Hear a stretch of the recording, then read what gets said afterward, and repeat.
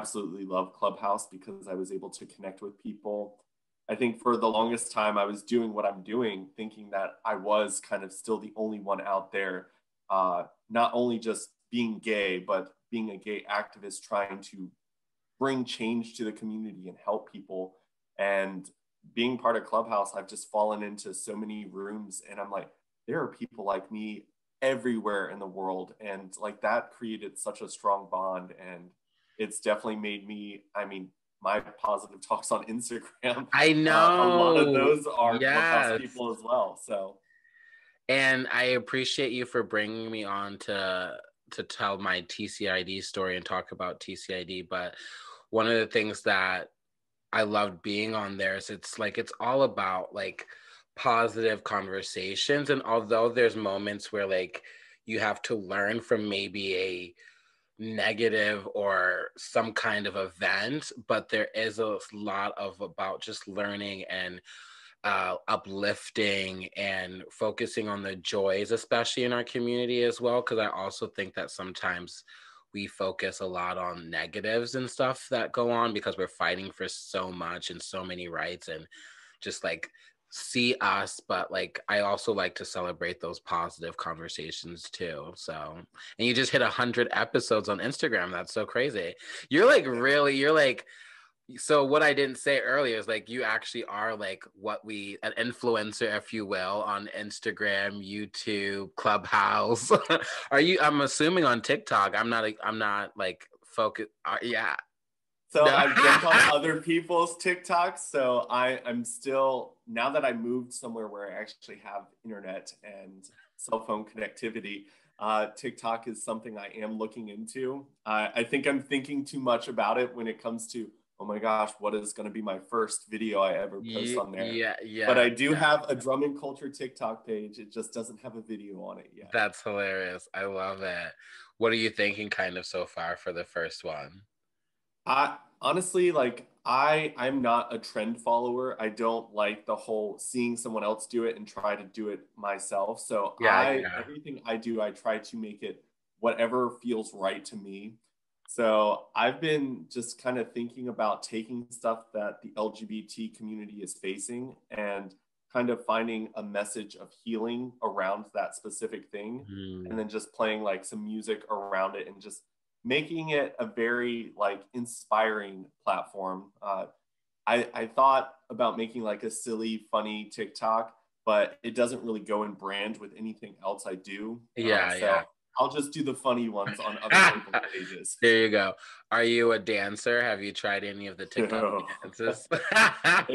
any type of dancing would be a comedy thing for me. I suffer from white boy dance moves. Oh gosh, no. It's bad. I always like to tell my friend, I think that dancing is about just as long as you do it confidently. Cause like I feel like you see people, I, at least I've seen people that I'm like, you know, that's a move that works for you.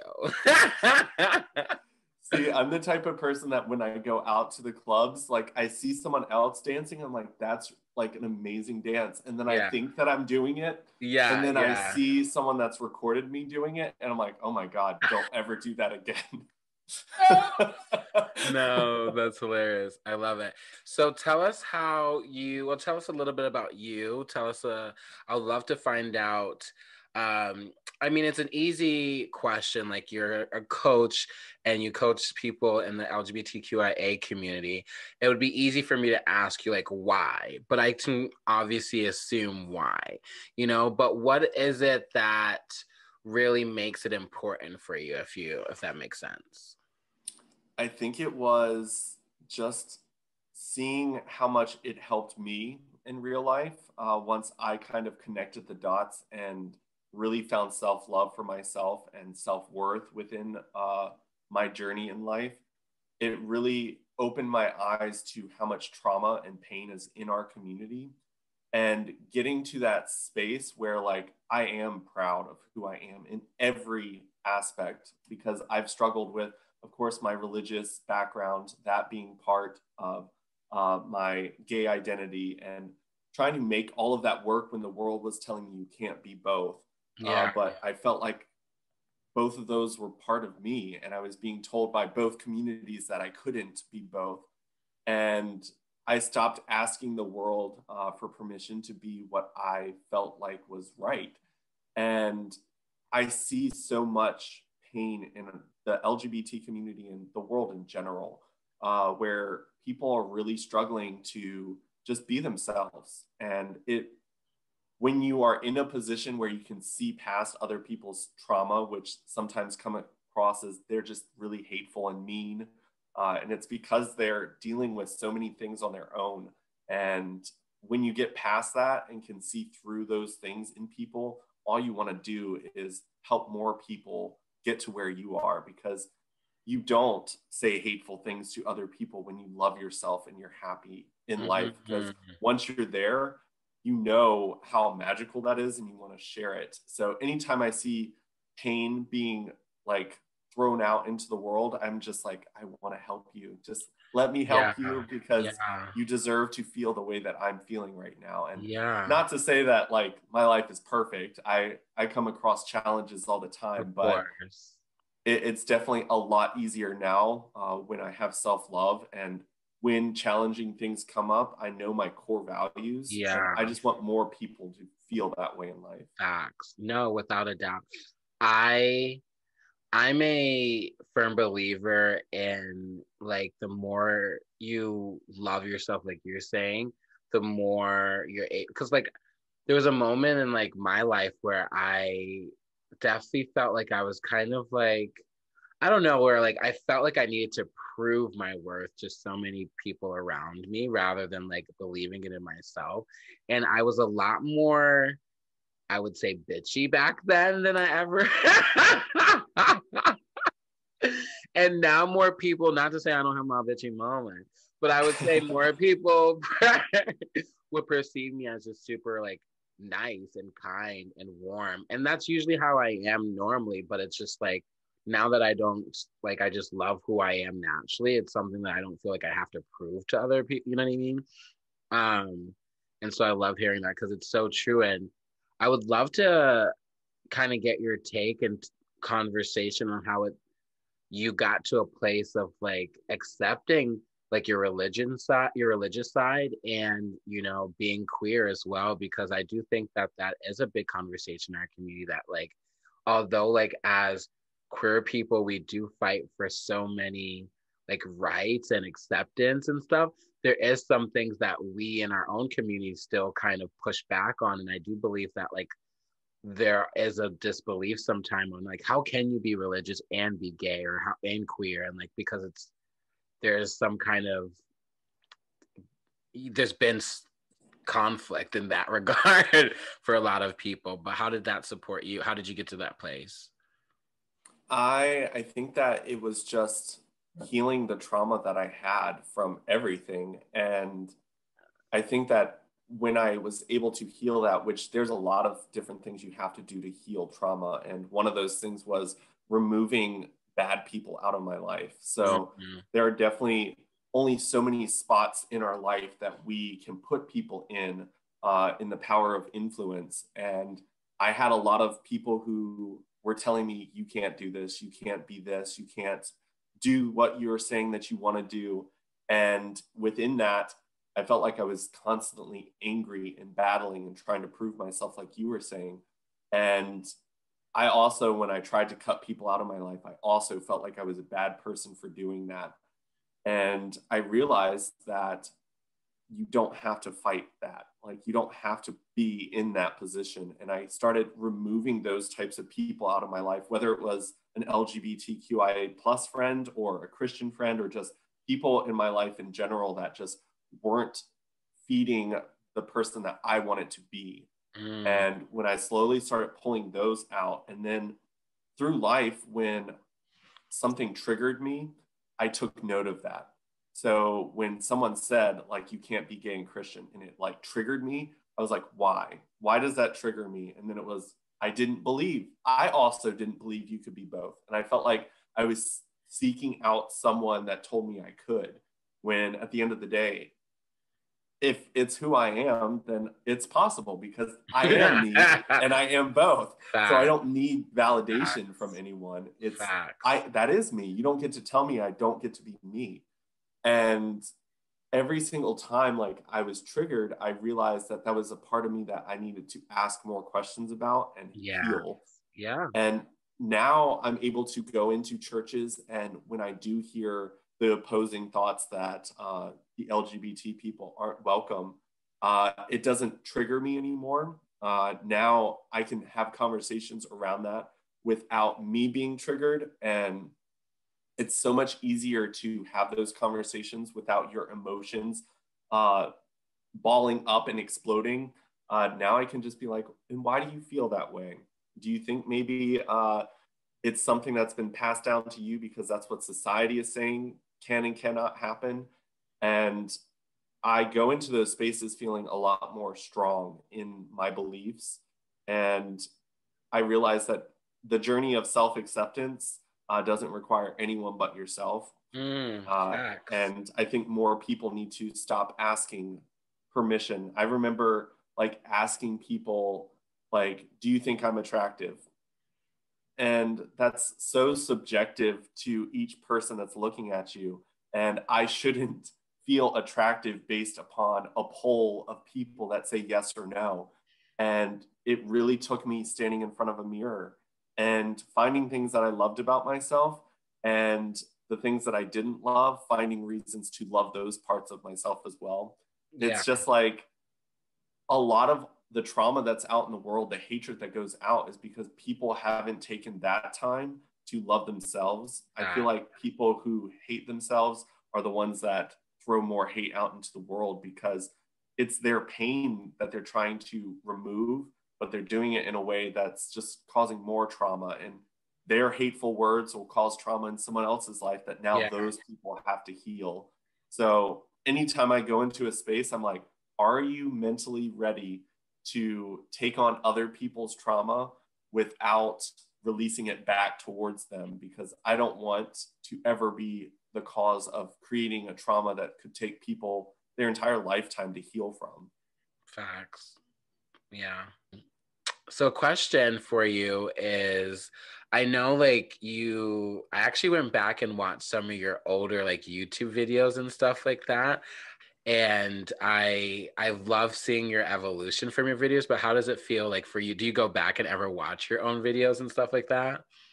I, I've definitely seen a couple of my older ones, mainly because I know that times are changing. And when it comes to your vocabulary, when you're speaking about LGBT, mm-hmm. um, when you're mm-hmm. speaking about uh, important uh, movements that are happening, I think that it's important to realize that certain things were filmed before certain things were uh, spoken of in the way that they are now.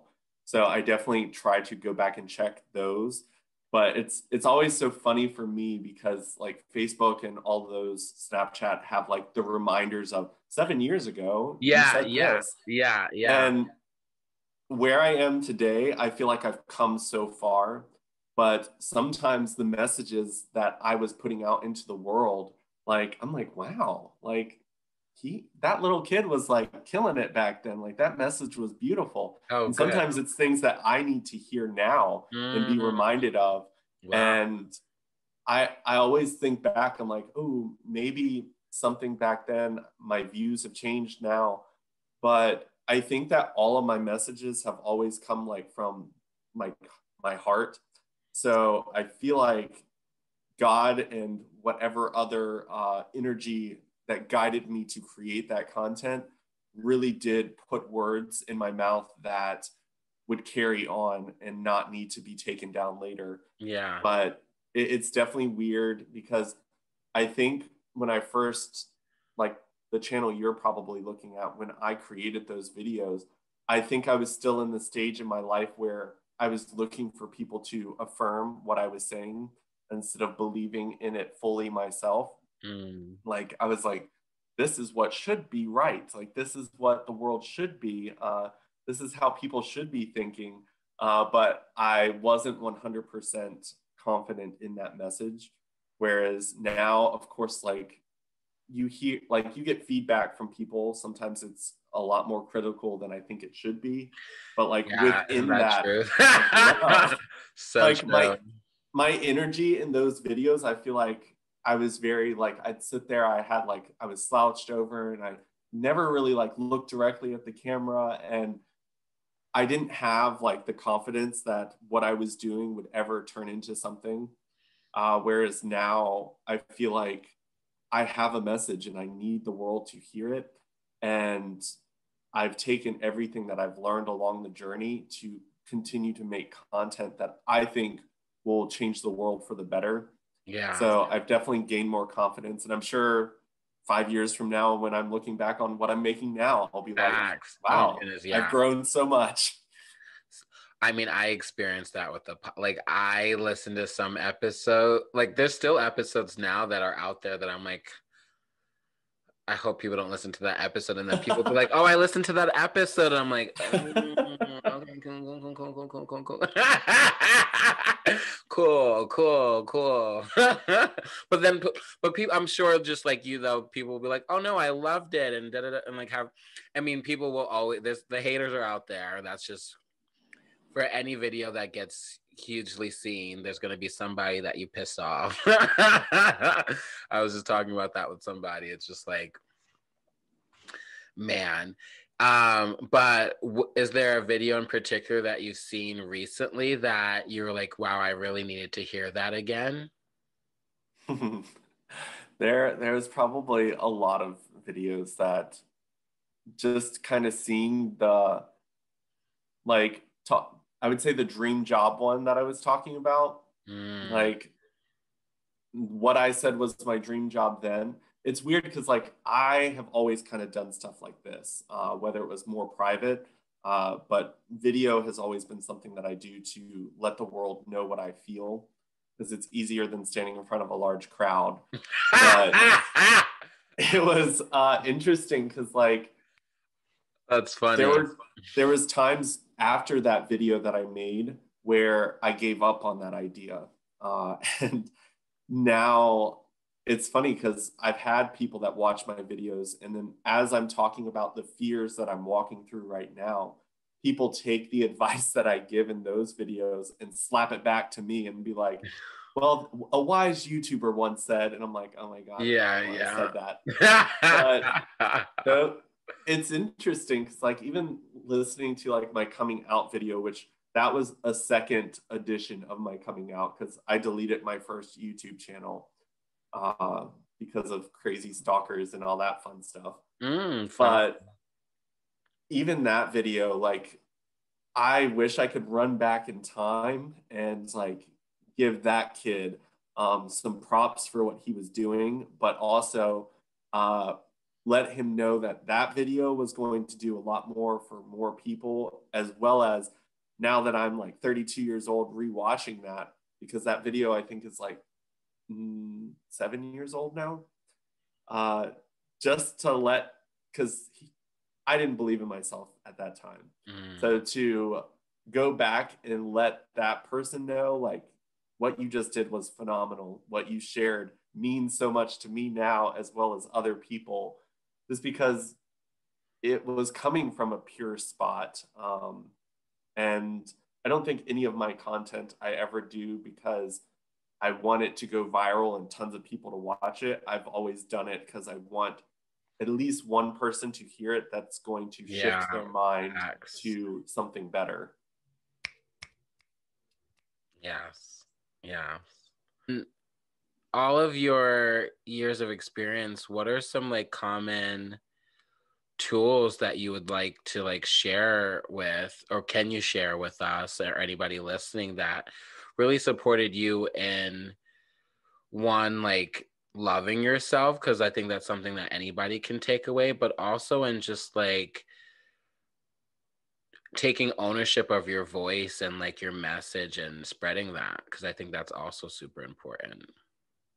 I think that something that I learned here when it comes to creating content is stop trying to create content for other people mm. and create it for the you that you know like needed a message. So like mm. when when you were 15, what message did you need to hear and create it because there are going to be people on the internet that need that same message and don't be afraid to say something that you think might be contradictory uh, because if it was something that you needed to hear then that message is valid and i think that too often we like i've spoken to a lot of people where they're like well i really want to do this but i'm afraid that my audience might not like and i'm like then they're not your audience. Yeah. Oh like, oh like, my god stop, that's true. stop being afraid of creating content that's true to you because you think someone won't want to hear it. Because you are your like you are your greatest audience member there. And if you create it and it touches your heart then it's the right thing to say. And just know that content that you create now your opinions will grow and change. And yes people might see that old video and that's the first one they see of you uh, and they might make a judgment of you but don't delete it.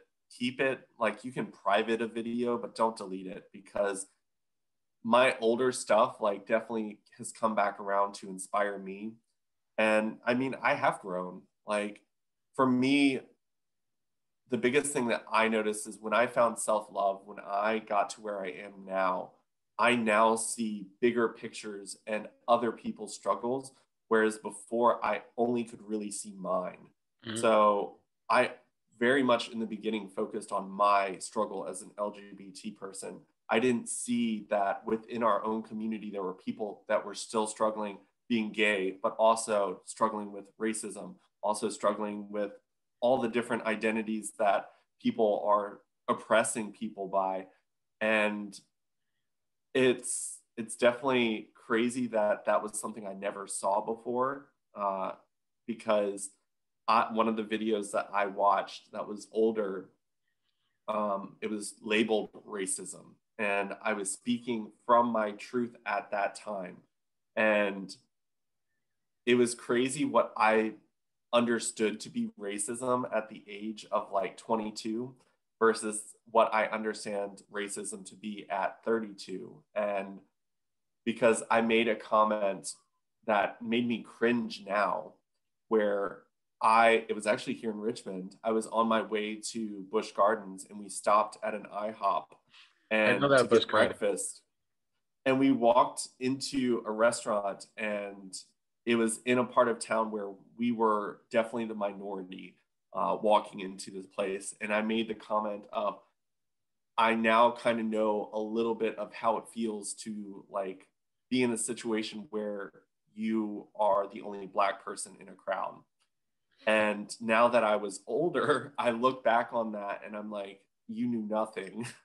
because even in today's world, being the only white person in the room, you still have the most privilege, especially being a white male. I still had the most privilege standing there in that space.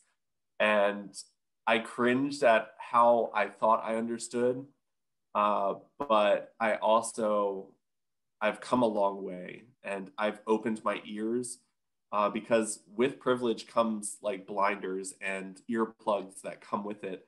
And it's so important for people to realize that any type of privilege, we don't uh, see uh, the struggles of other people that don't have that privilege. Like when it comes to people who suffer from disabilities, I wasn't aware of how many places weren't handicap accessible until I became friends with someone who every vacation they had to do extra planning because wow. they didn't want to be in an area where they couldn't go to restaurants because they all had steps uh, wow. nothing but hills and no elevators and wow it, it blew my mind that there are so many different things that i am still having to learn uh, because within every privilege comes that blinder that makes you think that your struggles are the worst, not realizing that there's still so much change that needs to happen for a lot of other people. Yeah. yeah, I'm like, wow, I even in that short example, I'm like, that is something that somebody who's maybe in a wheelchair or just has some kind of disability would have to really think more about that I've never really had to think about. And that's I wouldn't say never. I well now I want to watch what I'll say because I was in a wheelchair for a year at one point when I was younger because I dislocated my hip. But like even at that level, I was like had somebody taking care of me or pushing me around and stuff like that. So it was like I, I wasn't thinking about those things. Um, but well, thank you for sharing that, and thank you for being vulnerable, even about or just in sharing about your own like experience uh with your first video compared to another video, or just seeing that video back. Um, because I can imagine that a lot of people would have a lot to say about that. You know what I mean?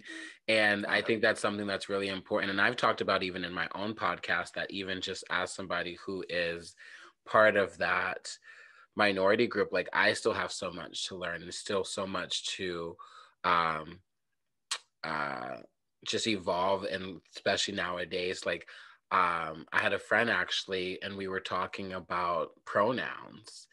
And i he was like well it's just something that i have to get used to. And i was like we all do. Like it's not anybody who's not a part of that community has lived a life that never had to think about it you know? And so i've even made mistakes and flubbed up and pronouns and it's like about making that cognitive like oops i need to be cognizant of that you know um but nobody's perfect we're all here and i think we have to also give each other space to learn, y'all. We can't just like somebody makes a mistake and then attack them, and then there's no room to like open up your closet. Let's see what's in there. You know, yeah. everybody's got mean, something. I think that I learned that I needed to really let my defenses down mm-hmm. because even when you mess up and you trigger someone, like it is their right to be upset about it. Of course. Uh, and it is their right to point it out. Yes, it's not always the most uh, ideal way. Uh, there's definitely been some really uncomfortable uh, moments for me when I've slipped up and messed up. But I've really learned to let my defenses go. And I think that once you are in a position where you realize that you can always learn more. Uh, you you allow other people to point out your flaws, and you yeah. don't feel judged.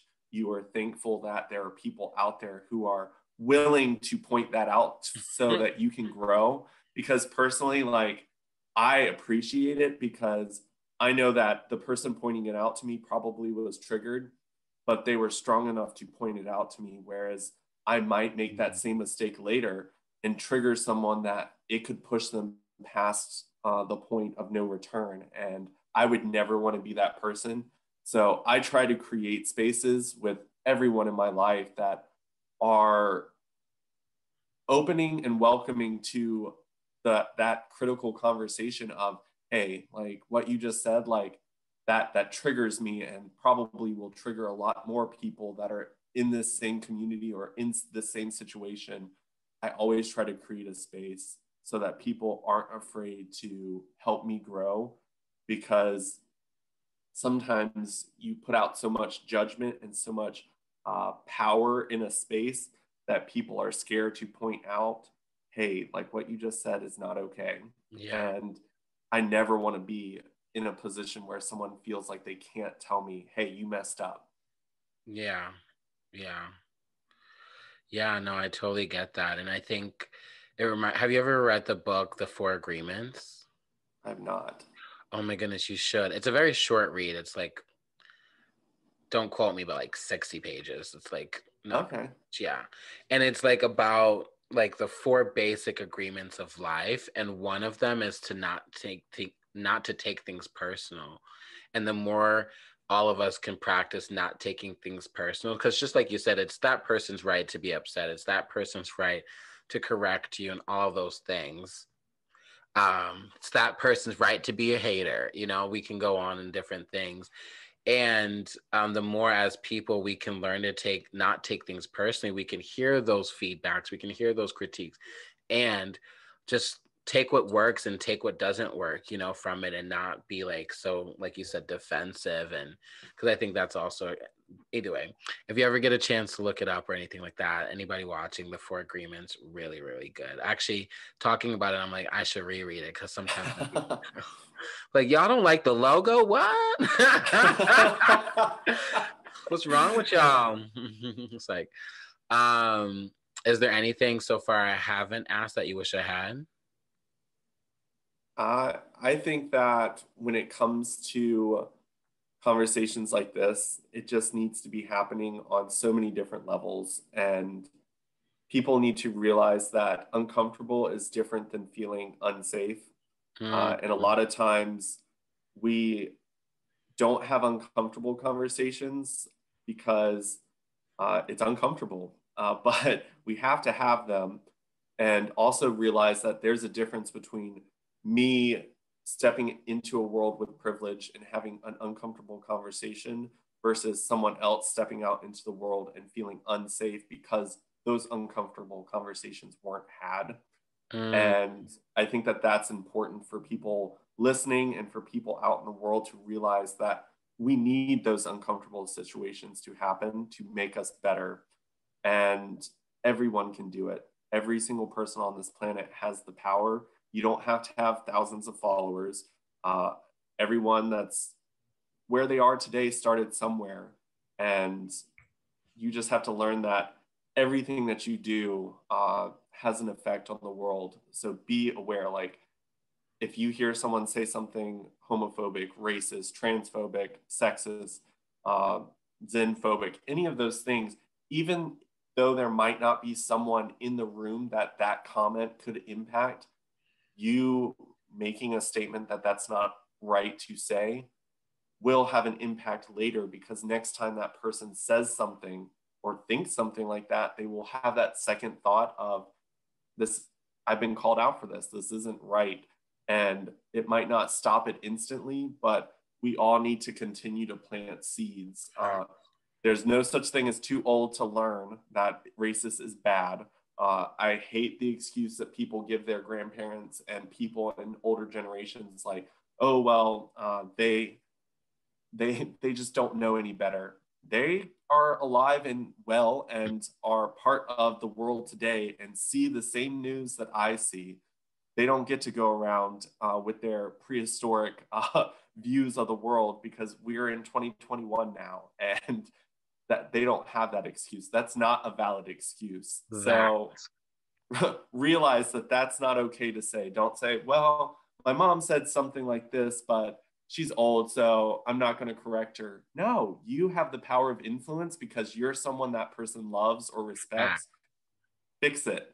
Every one of us has that uh, job to fix the world that is within our uh, personal bubble because if we don't, then it's not going to change. Yeah, without a doubt. Without a doubt. Um, so before we go, we ask everybody the same question. And it's we've all heard the quote, be the change you wish to see. What's the change you wish to see, and how are you going to be it, Drummond?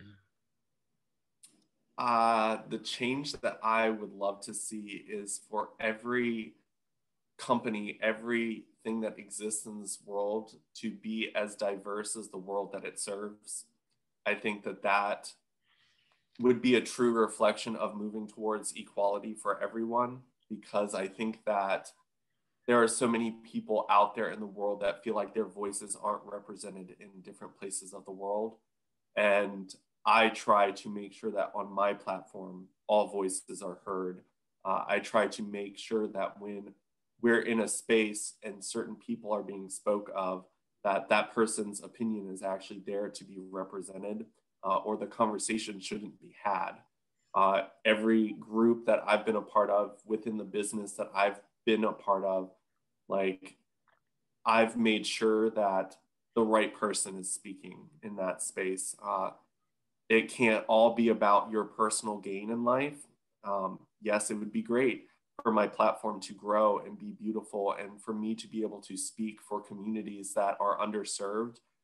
but it's also my within my power to give that space to someone that is actually deserving of that place to speak. So I think that that is definitely my goal.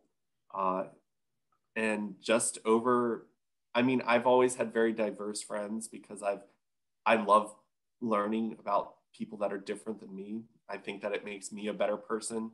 But like, I, I purposely put myself in positions where if I have a prejudiced thought, I have to resolve that. So, how do I resolve it? Become friends with the people that I have that prejudice towards and dissolve those thoughts that come with the stereotypes and realize that those stereotypes are because we haven't had people in the right spaces to stand up for themselves and change that stereotype. So I just want to be able to be a part of that change uh, and realize that everyone uh, is equal to each other. Like every story matters. Every um, every journey, even if people don't see it, like it matters. Uh, listen to each other.